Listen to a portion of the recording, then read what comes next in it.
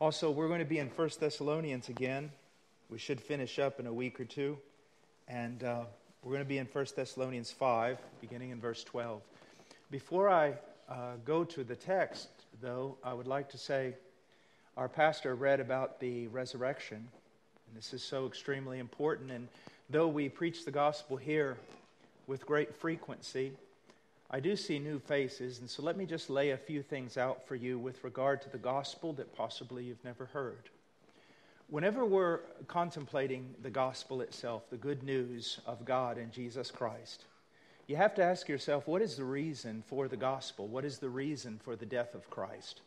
And here's what I want you to see the gospel does have to do with the sin of man, but that's not the primary reason why the gospel is necessary. The primary reason why the gospel is necessary is because of the nature of God. You see, if man was a sinner, and he is, but if God was not holy, then there wouldn't be a problem. There would be no problem. There would be no need for reconciliation. The need for reconciliation comes from the fact that God is holy and God is just. And that presents the greatest problem in all the scriptures. And let me set it before you in sort of a philosophical formula. It would be this Paul says it in Romans 3. How can God be truly just and righteous and yet pardon wicked men? That's the greatest problem in the Bible. If you haven't known that, well, know tonight that that's the heart of the gospel. And usually, when I'm witnessing to somebody, that's where I start off. The greatest problem is how can God be just and pardon wicked men while maintaining his justice? Because even in our own world, isn't it true that if a judge lets criminals go, what do we say about him? He's corrupt. You see, God can't demonstrate his love at the expense of his other attributes. You may have heard some preacher say at one time, well, instead of being just with you, God was loving. Well, if you study classical logic, you know that, well, that preacher is saying that God's love is unjust. God's love must be just. And so, how can God pardon wicked men and still be just? There's only one way in the person of Jesus Christ, who is God in the flesh. What happened there on that tree? Well, let's look at the whole thing. God, in his justice, condemns man. And man is separated from God and without hope, and there is nothing man can do to save himself. But then, in God's mercy, in God's love, God becomes man. He walks upon this earth and lives a perfect life in complete submission to the law, in perfect obedience to the will of God. And then he goes to a tree and on that tree, he takes the sin of his people upon himself. Not only does he take our sin upon himself, but the Bible says he becomes the curse, accursed of God. And then all the wrath of a righteous God, all the divine punishment that should fall upon wicked men, on that cross it fell upon the Son. You see, a lot of times, many of you, especially now during what's called Easter season, you'll hear preachers talk about the cross of Christ, and they'll talk about the crown of thorns on his head. They'll talk about the nails in his hands and his feet and the spear in his side, and, and then they'll just end their sermon. But what you have to understand is that's, that's not the pain of the cross. Your sins are not forgiven just because some Romans beat up Jesus and nailed him to a tree. What saves us is that when he was nailed to the tree, in that horrible physical suffering, he bore the filth of our sin. He bore our sin. And God turned away from him as he should turn away from us. And then all the wrath of God that should fall upon us throughout an eternity in hell fell upon the Son.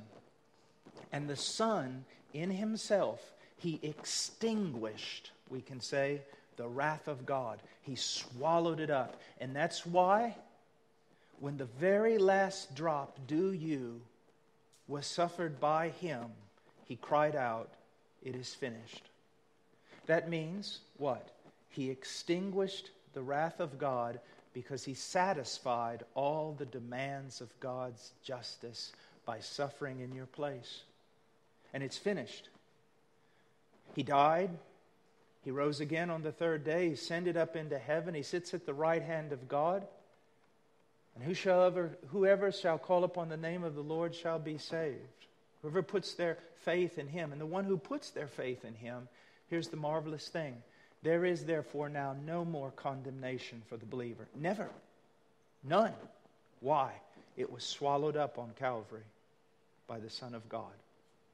And that's the gospel. But in order for you to be saved, you must repent of your sins and you must believe the gospel. And the evidence that you have believed in a saving manner is that you go on repenting, you go on believing that he who began a good work in you, he finishes it until the day you stand before him blameless and with great joy and glory. And that's the gospel of Jesus Christ. And if you have any questions about that tonight, will you come see me or pastor or someone else, another member like myself? And we'd be glad to talk to you about the gospel.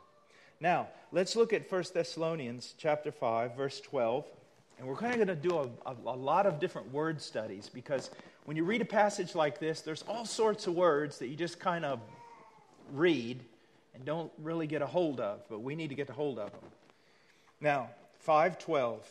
But we request of you, brethren, that you appreciate those who diligently labor among you and have charge over you in the Lord and give you instruction, and that you esteem them very highly in love because of their work. Live in peace with one another.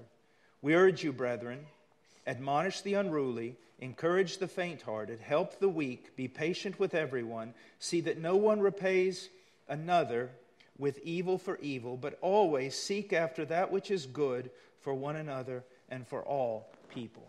Let's pray. Father, thank you for your word. Thank you for your great mercies that you have revealed in your Son. Thank you for your kindness and your patience.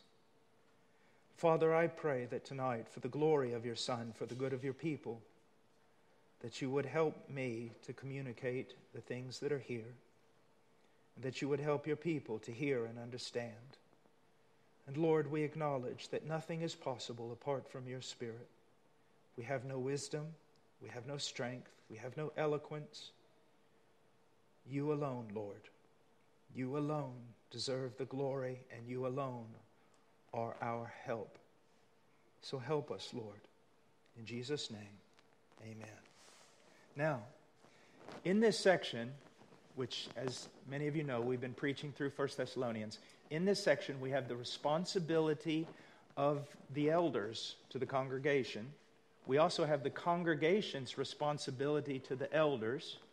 Then we have the responsibility, mutual responsibility between the elders and the congregation. And then finally, we have the responsibility of the congregation to the congregation. And we're going to work through that.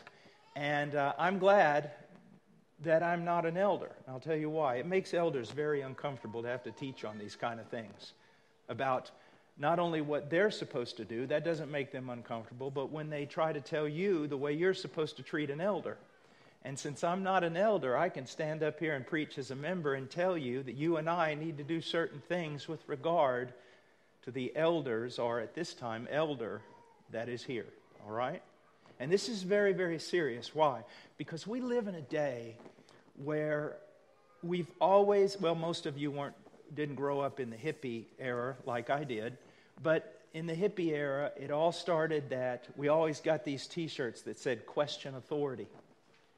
And after a while, if you keep hearing something over and over, it becomes a truth to you, even though it's a lie. And so you get to the point where you have an entire generation of people who are constantly questioning authority and not trusting authorities. When I was in political science, my first year at the university, um, a professor went down a list of all the things you needed to do in order to destroy a country. And the first one was to eliminate all confidence in the established institutions of government, of religion, of education. And that's basically what's happened in our country. And sometimes it bleeds into the church, doesn't it? Especially when you see these TV evangelists getting wealthy and all sorts of things like that. And so we, we almost develop an attitude where we're afraid to trust and we're afraid, or at least hesitant, to honor an authority. And yet, that's exactly what the scriptures are going to tell us to do. So let's, let's look at the text. We're going to look at three responsibilities of the elder. And the first one is he must diligently labor among the congregation. Look what it says in verse 12. But we request you, brethren, that you appreciate those who, now he's going to describe an elder, who diligently labor among you. So, the first thing that an elder is required to do is to diligently labor. Now, I want you to look down here and it says, appreciate those. That's plural. Why? Because in a perfect case scenario, there's more than one elder. In a perfect case scenario, you have various elders with various gifts all taking care of the church. But sometimes in a church plant or a new church like this, it'll often begin with one elder or maybe as our church began with a few, but then others went, some of the elders went to preach in another place, and another elder went to study at the university, and so we're left with Brother Anthony. So we have a singular elder. And that ought to tell us something. The work of being an elder is very, very difficult when you have several elders. But when you have one, it makes it even more difficult. And therefore, we probably should appreciate in a greater way the elder that we have. Now, another thing, it says diligently labor. It comes from a Greek word, kopiao, and we've, we've gone through this word before in 1 Thessalonians. Paul uses it in, at different times, and it means literally to grow weary with toil. To grow weary with toil. What is the work of an elder? A, true elder will grow weary. Most of them die young, and those who don't look a lot older than they actually are. And so you need to realize that the, the work of being an elder is quite difficult. When I was in seminary about 150 years ago, I remember in systematic class, one of my professors said, If you want to know what it means to be the pastor of a church, then read Isaiah 53. I think many of you probably know what that text says. It talks about the suffering servant of Yahweh, it talks about the Messiah who is going to suffer and die for the sake of his people. And in one way, the minister takes on something of that mantle. He diligently labors. Now, when Paul tells the elders to diligently labor, what he's actually doing is telling them to imitate him. And I want you to look over with me to chapter 2 at verse 9. Look what he says about his own ministry. He says, For you recall, brethren, our labor and hardship. The word labor there, again, is kopos, which is the noun form of kopiao. He says, Our labor and hardship, how working night and day so as not to be a burden to any of you, we proclaim to you the gospel of God. Now, this is part of what a minister's life has to be diligent, toil, labor. But, church, I want you to realize something. We need to be careful. Should the ministers of this church be, be ready to help? Yes, yes. But should we also, our own selves, seek to grow to maturity so that we're not constantly in need? That we ourselves study the scriptures? That we ourselves encourage one another? You know, when my little when my little girl Rowan needs to go across a parking lot in Walmart, she's seven years old. I'm going to hold her hand. Hopefully, I don't have to do that when she's 27. I want her to grow to maturity, and all of us must grow to maturity. And as we do, the burden becomes less and less on the elders so that they can dedicate more and more of their time to studying and praying in order to be prepared to be in the pulpit and teach us. Remember, Romans 12, 2 says that the will of God is perfect. Now, what's that have to do with this? Well, there's been down through the ages this idea that the minister ought to sacrifice his family for the benefit of, benefit of the ministry. We've all heard that. That's a lie. Not only is it a lie, it actually speaks against God. In what way? God says that his will's perfect which means you don't have to violate one aspect of God's will in order to fulfill another aspect of God's will. God has commands for the minister and all of us, if we're men, with regard to our wives and our children. And in order to do what God says in the ministry, we should never have to neglect them over here. We want to have a life of whole obedience unto the Lord. And we, as members, when we have needs, yes, we can contact an elder, but we also ought to be sensitive. Man has a wife, man has a family. It's very, very important to understand. Now, I also want us to look at something that's very important. Let's go to uh, chapter 1, verse 3, and we're going to see this word again in its noun form. And look what it says. He's talking about the members of the church. And he said, constantly bearing in mind your work of faith, your labor, kopos, your diligent labor of love and steadfastness of hope in our Lord Jesus Christ in the presence of our God and Father. Now, we've seen that the minister, in one sense, makes himself weary taking care of the congregation. But here, what do we see? The congregation doing the same thing for one another. Do you see that? He says that the congregation is involved in a labor, a kopos, a diligent labor of love towards one another. And we're going to talk about this later. We're going to look at Ephesians 4 just a little bit. The purpose of the minister is to minister to you, to teach you to minister to each other. And all of us should diligently labor. Now, I want to say this. Every Christian in here will pass through times of need when they cannot give, they, they need. They need help. But here's something that I always I always check my own life with this, so it's all right if I tell you to do the same. You be very careful that you don't become a sponge to everybody. Now, please understand me. There are times when all of us have great needs, and when we do, that's, that's, that's what we're here for, is to meet your need. At the same time, beware that you, you not become a person who is constantly asking for more help, but rarely able to give any. Maybe that's reflecting something in your life, your personal life, that, that ought to get right. You see that? Because there's a sense in which all of us need to be diligently involved in helping one another grow in Christ. Now, also look here in chapter 5. It says, But we request, verse 12, we request you, brethren, that you appreciate those who diligently labor among you.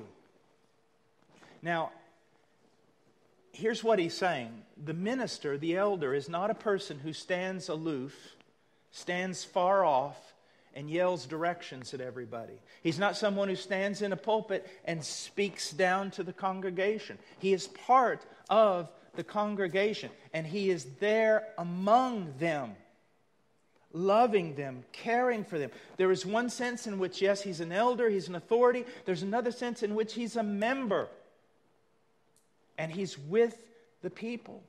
I have known so many pastors in my lifetime that thought it was their responsibility to go from their study to the pulpit and back and no one talked to them. But that's not what pastoring that's not what pastoring is. Now again, when Paul tells a minister to be among the people, he's telling the minister to mimic him. Look for just a minute at chapter 2 again, where Paul is describing his own ministry. Verse 7 Paul just wasn't an apostle. He just wasn't a type of prophet and teacher and theologian. But he says this But we prove to be gentle among you. Same phrase in the Greek. As a nursing mother tenderly cares for her own children, having so fond an affection for you, we were well pleased to impart to you not only the gospel of God, but also our own lives, because you had become very dear to us. The minister is not just imparting information, he's imparting his life. He's imparting his life. And, and I want you to know of all the things that I have done in my life, I think counseling and pastoring have taken the greatest toll when I have done it.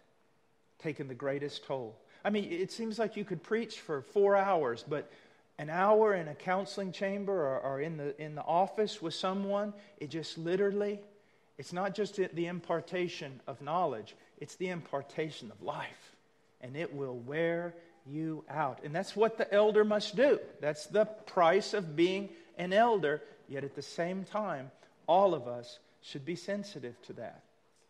Should be sensitive to that. Okay? All right, well, let's go on.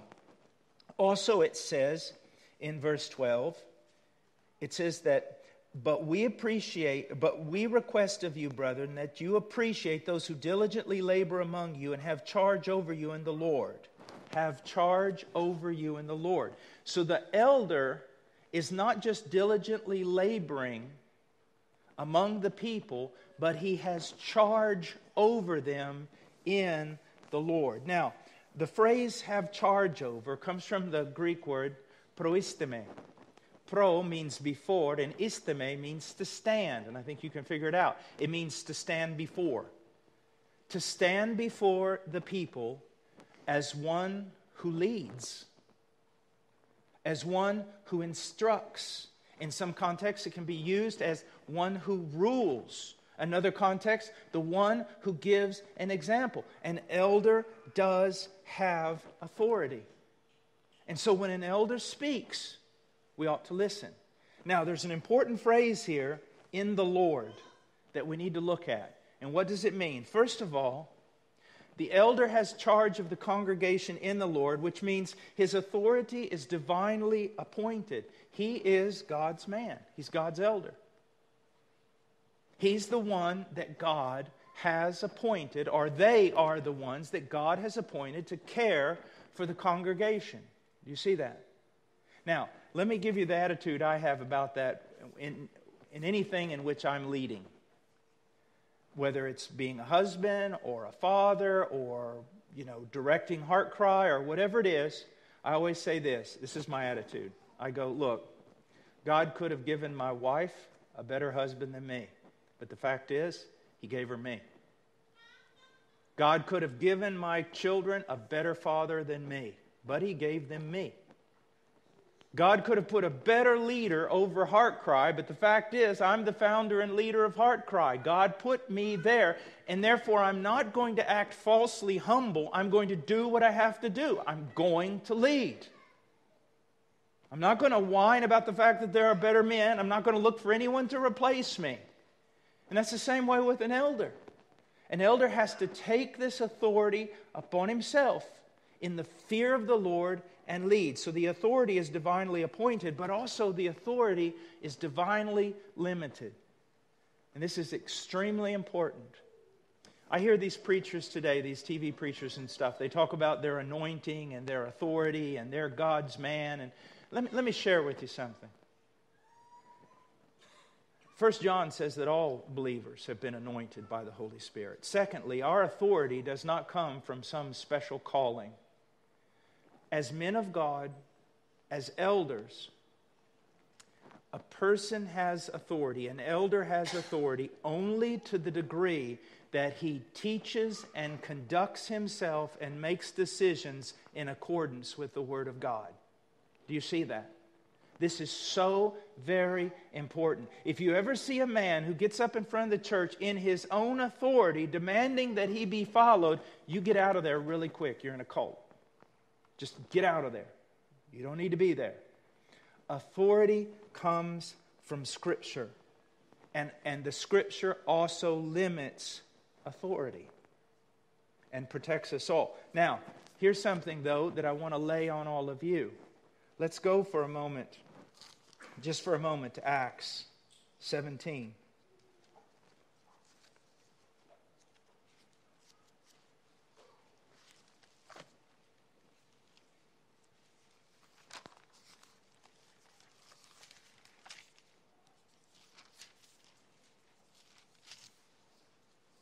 Look at verse 11.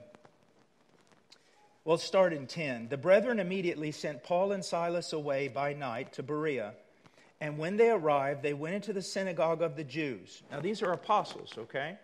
These, these guys have authority. A lot more than any elder you'll ever meet. Paul the apostle had some serious authority. Now, verse 11. Now, these were more noble minded than those in Thessalonica, for they received the word with great eagerness examining the scriptures daily to see whether these things were so. They were not taking the apostles' word at it. Do you see that? They, they, when they were hearing the word, they were going, Wow, this seems wonderful. This man really seems to know what he's talking about. This is indeed good news, but we cannot affirm it and we cannot follow it until we see it in the scriptures. Do you know why most people are deceived by leaders?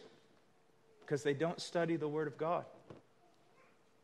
It is the church's responsibility to study the Word of God. Please understand that. It doesn't function if you just have the elders studying the Word and everyone following. But each one of us must study the Word of God. Now, there's a third requirement for the elder, it's found in verse 12 also. He says, But we request of you, brethren, that you appreciate those who diligently labor among you and have charge over you in the Lord and give you instruction. Now, the word instruction here, some of you will be familiar with this word. It's noutheteo. You've probably heard of nouthetic counseling. Noutheteo. Nous, meaning mind, and tithemi, meaning place or put, to place or put, to put something in the mind. Do you see that? So when we are instructing, or when an elder is instructing, he is putting something in your mind. And that right there ought to tell you that's a good reason to study the scriptures yourself. To be able to judge what's putting in, what's being put in to your mind. But now this word noutheteo is, means much more than instruction it carries with it all, also the idea of exhortation, admonishment, and warning. And it can even be rather aggressive, such as telling you, look, you're dead wrong, and you need to stop right now. And if you don't stop right now, you're going to do yourself and your family some great damage. Do you see that? So when it talks about the elder giving instruction, you need to realize that's what he has to do, that's his job. Now, I've heard a lot of people, like a lot of parents, they'll say, we don't, we don't discipline our children because we just love them too much. The Bible says it's just the opposite. You don't discipline your children because you love you. And you want your children to love you. You want them to like you. And if you discipline them, they won't like you. Well, I hear a lot of preachers say, Why don't I just don't preach those hard things because I just preach the love of God? No, sir, you're a coward and you desire for people just to like you. Or maybe you're protecting your job. But I want to tell you something. If a man truly loves you, well, the man who loves you most is the man who's going to tell you the most truth, even if it makes you angry. You see, I am constantly in need of the Word of God correcting me, admonishing me, exhorting me, warning me. I'm also in need of that from my brothers and sisters in Christ who are around me. I'm in need of that from my wife. You see, we need each other doing these kinds of things. Now, let me say something just for a minute about preaching that's so important. If preaching is dangerous, teaching is dangerous. Did you know that? It's dangerous for everybody if, if the elder preaches something that's not true, it's dangerous for him, isn't it? Because one day he'll stand before God and be judged. But it's also dangerous for you if you follow it because you're following something that's not true. You're basing your life on something that is sand and not a rock. But also, you need to realize this if the elder preaches what is true, it's dangerous. It's very dangerous. It's dangerous for you. Why? Because you'll be held accountable for what you hear. And not just what you hear, but how you responded to what you hear. Bad preaching's dangerous, good preaching is dangerous. But good preaching, according to the scriptures, obeyed, leads to life. Leads to life. Now, now we're going to look for a minute at the responsibility of the church. That's the responsibility of all of us to our elder and in the future elders. Let's look in verse 12 again. But we request you, brethren, that you appreciate those who diligently labor among you. Now, the word appreciate here is, is really not what I was expecting in the Greek text. I was expecting some really flamboyant word, but the fact is, it's just the word oida. And the simple translation of oida is know them, literally. That you know those who diligently labor among you. But in the original languages, context always influences the meaning. And so the idea here is not just that you know who they are, but you recognize them. That's the idea being taught. You recognize who they are, you recognize the caliber of man that they are, you recognize the hard work that they're doing on behalf of you and your family. You recognize the sacrifices that are being made, and you respond accordingly with appreciation, with respect, with honor. Now, I want to uh, say something that's very important here, and that is this. Not so much in this culture, because in our culture, we've almost learned not to honor anybody. But in many cultures around the world, especially, for example, when I'm, I'm with the Chinese or when I'm over in India, there's something that, that remains in those cultures that I think is, is, is good and that is this a sense of respect for someone who's older. And oftentimes the elders are older, but that's not always the case. Many times the elder may be younger than you. Anthony's a lot younger than I am. All right, but now I want us to go over just really quickly, go to 1 Timothy chapter 4, verse 12. It says, to Timothy, Paul is writing to Timothy, and he says, Let no one look down on your youthfulness, but rather in speech, conduct, love, faith, and purity, show yourself an example of those who believe. Now, why should we respect someone? Well, we, we should respect someone just because they're older, even if they're a fool. Really. We should rise up in the presence of the gray headed man see that in the law. There is a sense in which we should respect those who are older than us. But when it comes to elders, we respect them not because they're older, they may, they may be younger, but we respect them for the character that they've manifested. And Paul says that here. He says, speech, conduct, love, faith, purity. Are they showing themselves as an example in those things? And if they are, then respect. Now, I was out in, uh, I've been out to California several times at Grace Community and, and out there at the Shepherds Conference and things like that, and it would really bother me. I mean, if I talked to Dr. MacArthur, I would say, Dr. MacArthur. But I'd hear the students walking around go, Pastor John. And one day I said, Why do you call him Pastor John? I mean, I'm 53 years old. I call him Dr. MacArthur. And he said, Well, because Dr. MacArthur told us we could call him Pastor John. And well, that's all right then. So, you know, if the elder says, just call me Joe, well, that's fine. You don't have to give him some special title. At the same time, realize this he's different. And I want you to acknowledge that, and I want you to know that.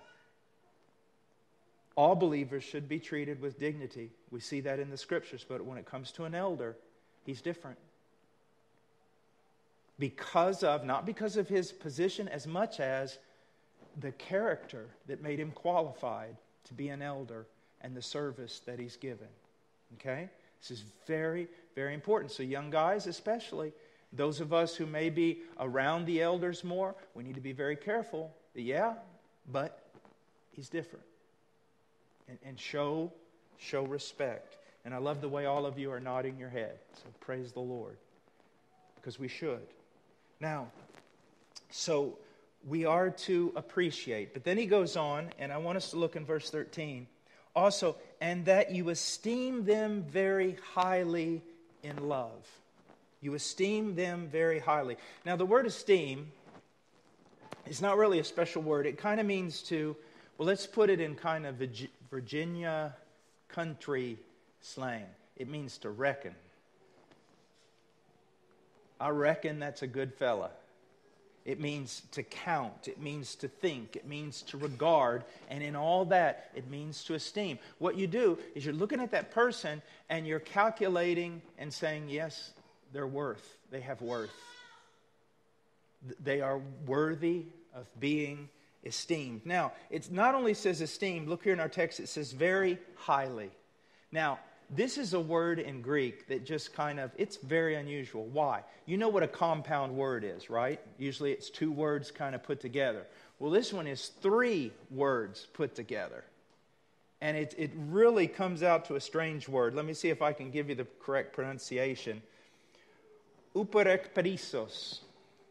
Now, uper means over or beyond, and ek means out of, and perisos means abundantly. And when you put it all together, this is what it's saying Esteem him above abundantly, esteem him very high, esteem him most highly, esteem him beyond measure, esteem him exceedingly. That's, that's what it means. Now, we all know men are men. We all know even the man that's worthy of most esteem is capable of failure. We're not talking about following men. Because as the elders hold us accountable through preaching and teaching, we also hold the elders accountable by reading our own Bibles and speaking with them also. But know this the scriptures do command us to esteem them very highly. Now, look at the phrase it says, esteem them very highly in love. Why is that uh, important? Esteem them according to the love that you have for them.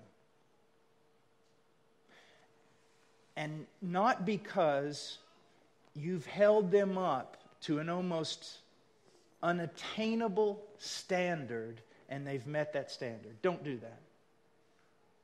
I've heard people say, I don't esteem that person because they failed me. And whom have, have you not failed?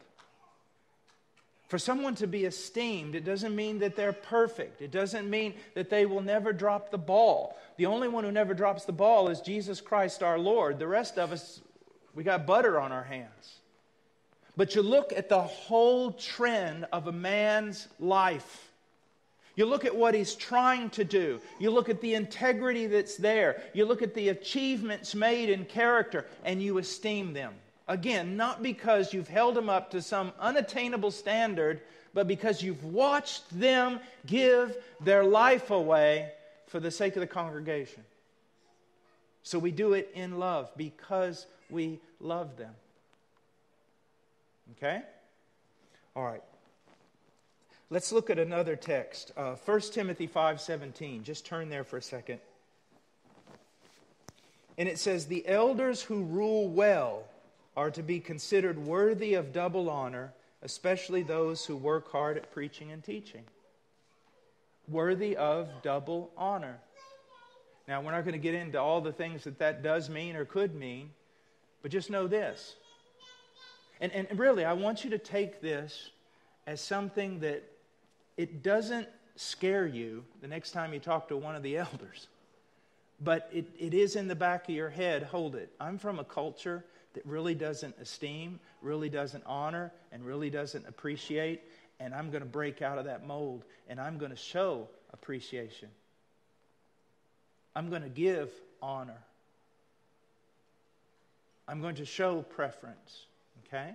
As I said, it's always good that a man like me can preach this because it's really uncomfortable for an elder to get up and do something like this.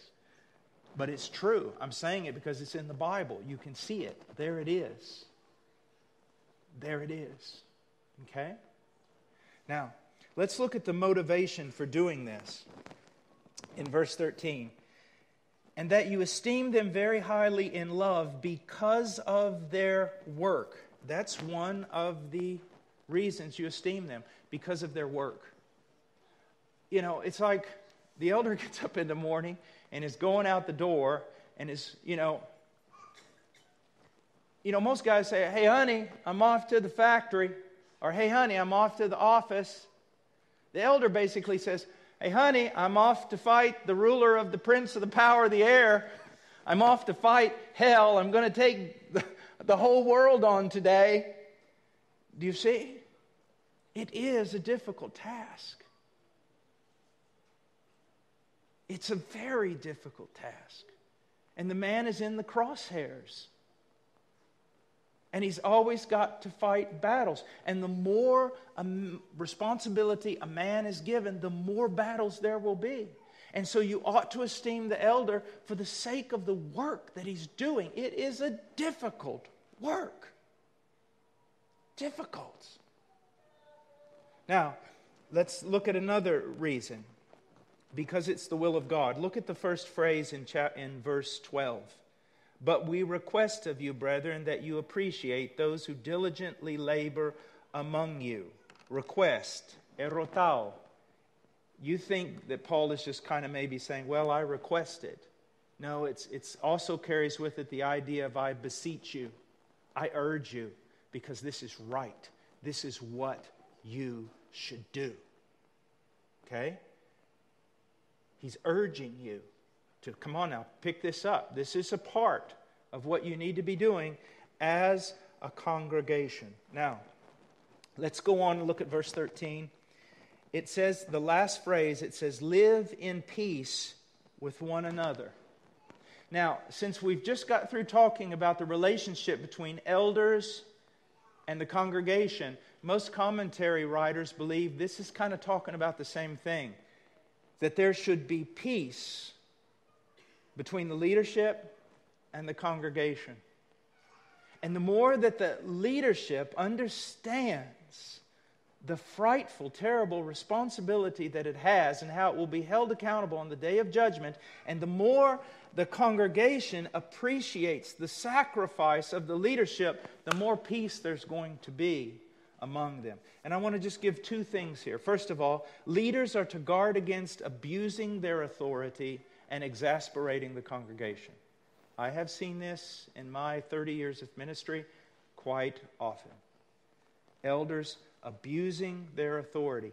And it's wrong and it's dangerous. And on the day of judgment, well, let me put it this way. You go back into the prophets of the Old Testament, especially look at Ezekiel, where the leaders were abusing God's sheep, and God says some terrible things about what He's going to do to those people. If you're a young man and one day you end up being an elder or a position in the church, you need to realize you do it with fear and trembling because you're going to be held accountable on the day of judgment if you've abused your authority. But also know this you're going to be held accountable on the day of judgment if you were fearful and did not exercise your authority. And that's the same way in the household for men. If you've been abusive to your wife and, not, and, and exercised too much authority and in a wrong manner, you will be held accountable. But also, if you have not led your home, you will be held accountable for simply hiding your head in the sand. And so there's great responsibility. I just want to read a text to you. It's in 1 Peter 5 2 and 3. It says, Shepherd the flock of God among you, exercising oversight, not under compulsion, but voluntarily, according to the will of God, and not for sword gain, but with eagerness, nor yet as lording it over those allotted to your charge, but proving to be examples of the flock. And there's several sermons right there, but at least you get the idea that the elder is to lead. He really is, and he really has authority, but he does it cautiously, he does it biblically, and first of all, he does it as an example. Now let's go on. The congregation should not disdain or disregard those who are over them in the Lord. Now, now honestly, you know, people have said that in America, the theology of the American evangelical is something like this that Jesus Christ is the only all sovereign Lord who can't tell anybody what to do. And that filters down, doesn't it? No one's going to tell me what to do. Well, you know, as Paul used himself as, as, an example, I can use myself as an example. I've gone to our elders many times and said, Is there anything you want me to do? What do you want me to do? How do you want me to do it? Okay? I want to know. Why? Because they're the ones that have to care for this church above me. Do you understand? So I want to know what do you want from me? How can I help you? What do you think I should do here? Even in the mission. I've been running the mission for 20 some years. I go to the elder. What do you think we ought to do here? Why? Because I appreciate God's put this person here and it's for my care. Do you see that? And all of us should have that attitude. Should have that attitude. Such great counsel can be gleaned because no one's going to lord anything over you, but hopefully tell you the scriptures. I want you to listen to Hebrews 13 17. Obey your leaders and submit to them, for they keep watch over your souls as those who will give an account. Let them do this with joy and not with grief, for this would be unprofitable for you. Let me just say this on way of passing. You know what almost every minister knows when someone calls them up, they want counseling? When someone wants counseling, basically what they want is this they want to come in and tell the leader what they've already decided to do, and they want the leader to affirm it. That's not counseling. Hopefully that will be the case, but that's not why you go. You should want to hear not what this leader has in all his tremendous wisdom. No, but what does the Word of God say with regard to this particular situation? And also, let me say again I have known people who have abused their authority. And I, I, I pray for them because it, will be terrifying on the day of judgment to stand before the Lord knowing that you used God's sheep for some vision or some purpose of your own. Now, let's go on. Look in 14 and 15. We'll try to hurry through this. He says, We urge you, brethren.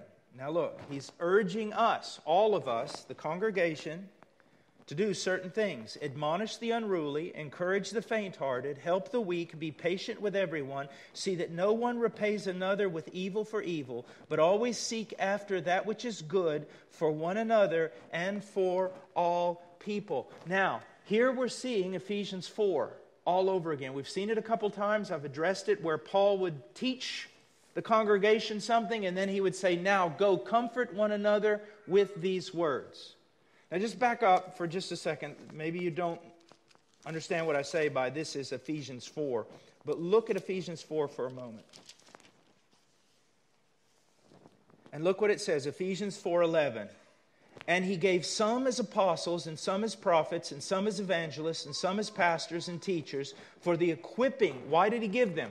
For the equipping of the saints for the work of service to the building up of the body of Christ Paul has just told us what the elders are to do, what the congregation is to do with regard to the elder, and then he's going to turn around and say, Now listen, the purpose of leadership is so that you will learn how to minister, so that you, each individual member of the body of Christ in the local church, that you will do certain things. And now, what are those certain things that we ought to be doing? Now, I'm going to give you these, but with a great deal of care and concern. Why?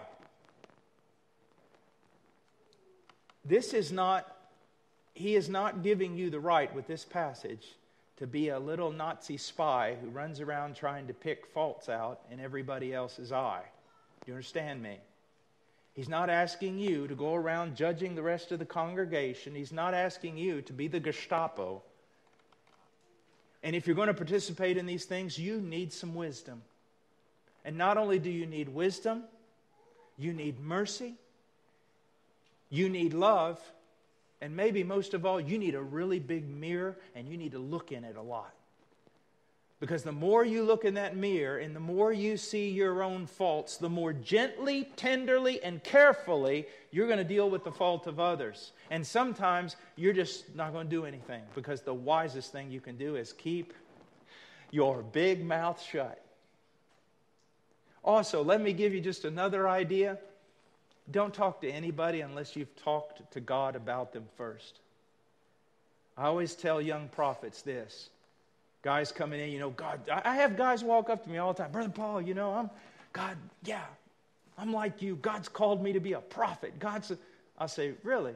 They go, yeah. I go, roll up your pant legs. What? Roll up your pant legs. I want to see if your knees are bleeding. Because if they're not bleeding, you have no right to stand before God's people as someone who is going to admonish them, say hard words to them, break them, cut them, and hopefully, hopefully turn them back to God. You see? So be very careful. This is not giving everybody a license to just go out there and correct the world, all right? So let, but let's look. First of all, he says, admonish the unruly, nutheteo. It's the same word used with regard to the elder to the congregation, that we are to be able to instruct each other. Now, if someone asks you a question, hopefully you won't tell them something your grandmother told you. Hopefully you will open up your Bible, and here's a good rule never nutheteo, never counsel anybody unless you can do it by pointing them to the text. Isn't that a good idea? That'd sure keep us silent, wouldn't it? It'd also keep us out of danger because even you will stand before God one day with regard to how you taught other believers. Now, now he says to admonish the unruly. Ataktos is the word. And what does it mean? It means the people who are out of order, out of place, undisciplined, and slothful. Okay? This was always a problem in the New Testament. They're, they're out of order, they're not in their right place. They're doing things they shouldn't be doing, or they're not doing things they should be doing. They're undisciplined. They can't discipline their life.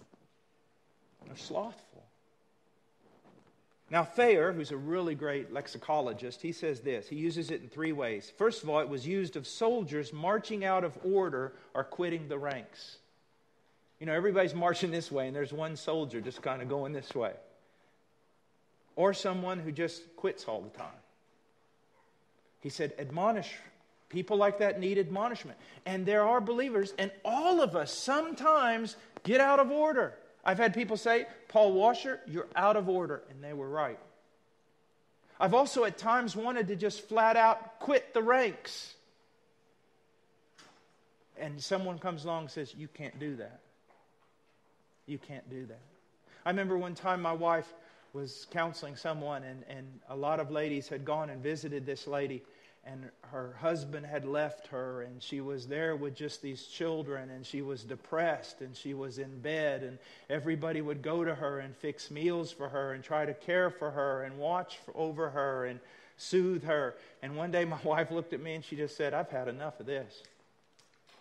And she went over to that lady's bedroom and she said, Sister, get up. Get up. You got three children. They're hungry. They're dirty. And they need a mother to take care of them. You don't have the luxury of being depressed. Get up. See, sometimes people need that. We all need it sometimes. We truly, truly do. So it says, admonish the unruly. It can mean a soldier marching out of order or quitting the ranks, those who are neglectful in their duties, and those who are just lawless. They live as though God had never given them a command or a law to obey. They need to be admonished, which means instruction with exhortation, all right, and with warning. Warning. The New Testament is full of warning signs, and they need to be pointed out to us. Now, also it says, encourage the faint hearted. God is so wise because every person needs to be treated differently. Some people, I don't want to say it, but I have to say it this way some people just need a kick in the pants, don't they? But other people don't need a kick in the pants. They're so fragile, they're so broken, and so Paul deals with that now. He says, encourage the faint hearted. Verse 14. The word encourage is paramutheomai, and it means this. Para means beside, and mythos means to speak or speech or story. It's someone who comes alongside and speaks to a person, speaks to them. Now, Mounce defines it this way to exercise a gentle influence by words, to soothe, comfort, and console. Sometimes that's what people need. And that's why we need a great deal of wisdom, don't we? And then Thayer defines it this way to calm and console and to also give incentive. Sometimes people say, I can't go on. And you need to just grab them up by the collar and say, You got to go on. But sometimes people say, I can't go on, and you need to be very careful, very cautious. Give them incentive help them. This was the word used when the Jews came to Mary and Martha and consoled them over the death of their brother. You see. Now, who should be receiving this kind of encouragement? He says the faint hearted. Now, this is a really neat word in Greek. It is oligopsutos. And what does it mean? Oligos, now this is very good. Listen to this. Oligos means few, little, or small, and suke is soul. They're like a little small soul. They've become withered, withdrawn, it's, it's the difference, I guess the, the other side of that would be like Greatheart, the evangelist in Pilgrim's Progress. You know, someone who's just mighty and bold at heart, ready to take on anything. But this person, either because of their own timidity or because of things that have happened to them, their soul has become small, their strength has become weak, their breath is limited, they can barely breathe, and they need encouragement. Now, then he says in verse 14, help the weak. Help the weak. Okay? This is not just with words, not just soothing, but actually helping them through their problem. Well, let's look at this. The word help comes from the Greek word antecho, and it means to hold firmly to something, to grasp something tightly like you would maybe the pulpit of a ship if it was about to go down, or, or maybe in a great storm you would hold tightly to a tree. Or if someone was falling off of a building and you grabbed their arm and you held tightly, knowing that if you let go, they're going to die. That's the idea. Mounce says to hold firmly, to cling or adhere to, to be devoted to anyone. So it's an idea that you're devoted to other believers to the point where you're going to hold on to them. You're not going to let them go. You're just not. It's not an option, you see. This word is used in Luke 16 13 in a different way, but it gives us kind of an understanding of what it means. It says, No servant can, can serve two masters, for he will either hate the one and love the other, or else he will be devoted, grabbing a hold of, the word is antecho, grabbing a hold of the one and despising the other.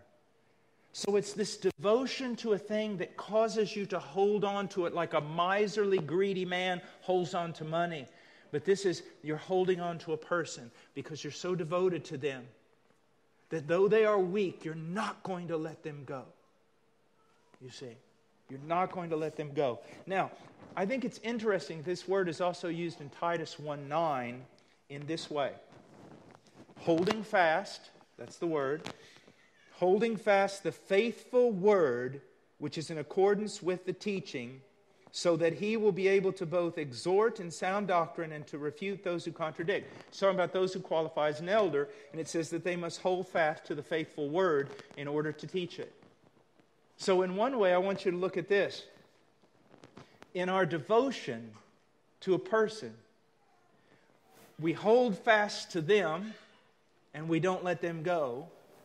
We hold fast to the Word of God like this because really you and I have no strength to help them. Our wisdom's not going to help them. But we hold fast to the Word of God and we, so that we can communicate God's truth to them. That's one of the greatest ways that we can help the weak. Brother and sister, listen to me. Sympathy, compassion, feelings, they're all wonderful, but they only go so far. What do people need? They need the Word, don't they?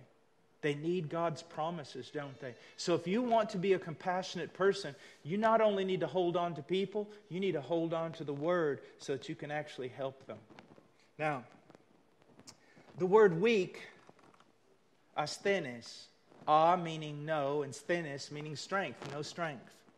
And here's what I want you to see all of us should be able to identify with this person. All of us. All of us have passed through times when we simply had no strength. I can't tell you how many times I've told my own wife, I just have no strength to go on. And she always tells me, You don't have an option. Get up. No strength. All of us have been there. So when someone comes to us and says, I just don't have any strength to go on, listen before you criticize. Listen before you judge, and listen before you give them a kick in the pants because then maybe that's not what they need. You remember what the Bible says about us? Let me read something to you. For while we were still helpless, asthenes, at the right time, Christ died for the ungodly. We were helpless, all of us. So when we meet unbelievers who are helpless, we just need to look at them and say, Man, when I look at you, I see myself in the mirror. But I know someone who can help you. Or when we see believers who are helpless, yes, we need to listen really carefully because they may be having a pity party and they may need to be admonished. But before you make that judgment, you better listen very carefully because they may just need to be helped. You see? Now, it says, and be patient with everyone. Verse 14. Patience, macrothumeo, it means to persevere, to be patient, to be long suffering.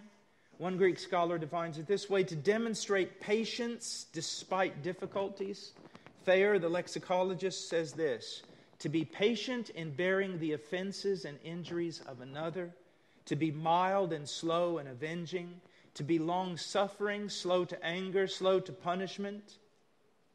Now, I've heard people say, man, it's so difficult to be patient with that person. I mean, they just, I've got one last nerve and they get on it every time. Well, it's not patience if everybody's nice to you. It's not patience if everybody gets it right the first time. You don't need patience. Patience only comes into play when you're dealing with people who are not only weak, but they're just like you. Isn't it amazing how patient we'll be with ourselves? And how much we lack patience with others. You see, anybody can do it for a, a while. It's doing it for the long haul. It's just like marriage, just like romance, just anything whether it's discipline for a sport or wanting to seek to be, you know, a doctor or a lawyer or, or something at school, anyone can start off out of the blocks. But man, to keep going, that's the difference. And in this case, it's keep going with someone else. Charo and I, when we were in Peru years ago working and planting a church, there was this young man who came. He was probably in his 30s. He acted like a child. His mother had spoiled him his entire life because he did have certain limitations mentally. And literally, I, I almost prayed at times, Lord, don't let him show up for the Bible study because he just ruins everything. And, and it really, he made it hard. But gradually, gradually, Charo and I began to see that God was doing something. And then one day, this guy gets miraculously saved and became one of the greatest blessings in that Bible study and in the church. Patience. Patience. You say, well, so long. Yeah, that's what patience is about. If it's not long, you can't call it patience. It's being patient with other people, like the Lord who is slow, not wanting for anyone to be lost. Patient. Now, now it says in verse 15, see to it that no one repays evil for evil.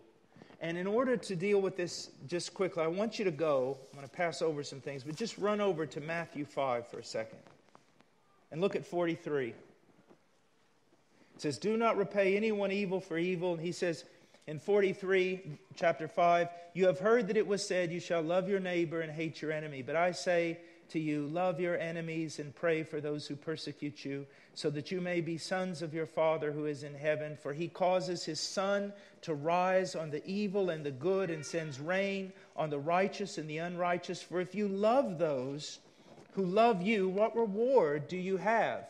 Do not even the tax collectors do the same? And if you greet only your brothers, what more are you doing than others? Do not even the Gentiles do the same? Therefore, you are to be perfect as your heavenly Father is perfect.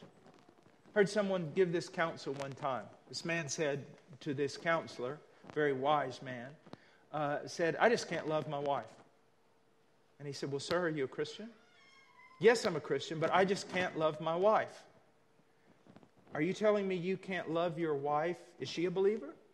Well, yeah, she's a believer, but I, I just can't love her anymore. Okay? Can you love her as a wife? He said, No, that's what I've been telling you. Okay. Can you love her as a believer in Christ? Well, I, I, have to, don't I? Because, well, let me ask you this question Can you love her as an enemy? Because even as an enemy, you're required to love her. Do you see that?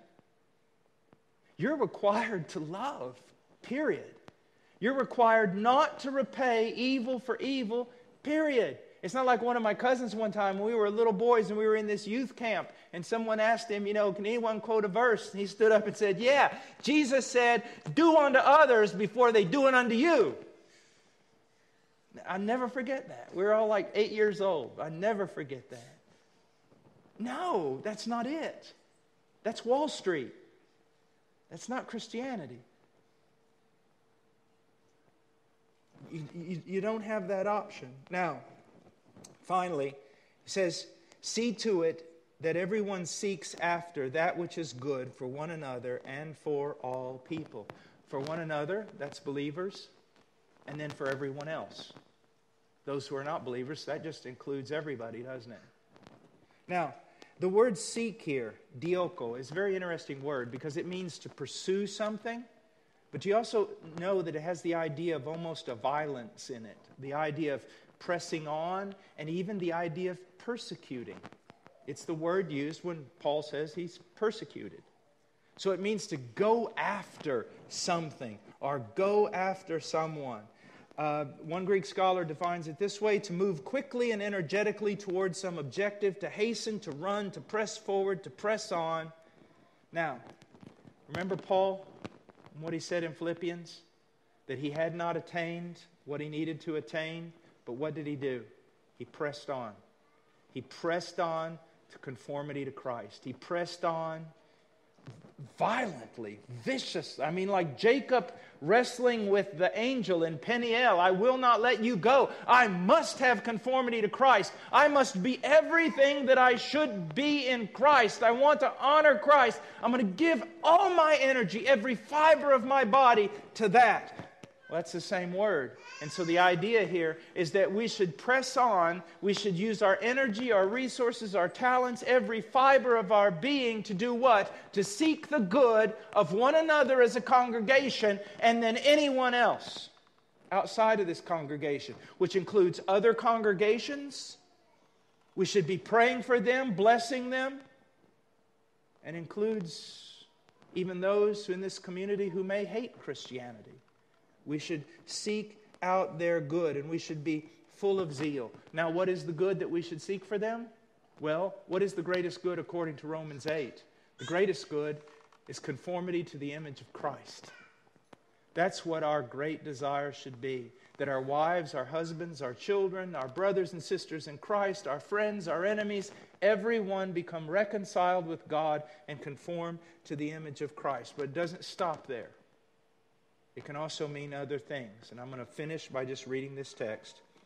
1 John 3 17 and 18. But whoever has the world's good and sees his brother in need and closes his heart against him, how does the love of God abide in him?